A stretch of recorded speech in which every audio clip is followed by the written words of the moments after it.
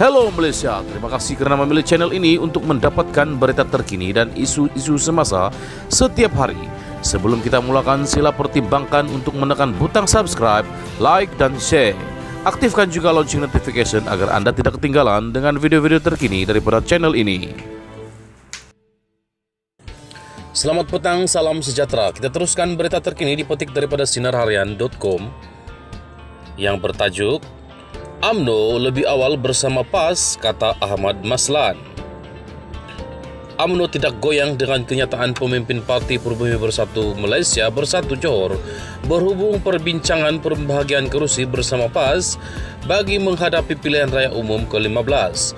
Setiausaha Agung AMNO Datu Sri Ahmad Maslan berkata, AMNO sebenarnya lebih awal mengadakan perbincangan bersama PAS menerusi jawatan kuasa mufakat nasional MN yang ditubuhkan di setiap negeri.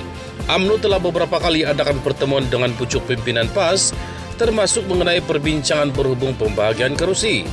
Apa yang penting kami, AMNO dan PAS, AMNO tidak akan adakan perbincangan kerusi dengan bersatu katanya ketika ditemui selepas mengadakan lawatan ke projek ayam Belanda di Kampung Parit Haji Zain Laut di sini pada Sabtu. Sekian berita kita jumpa lagi. Salam sejahtera. Bye-bye.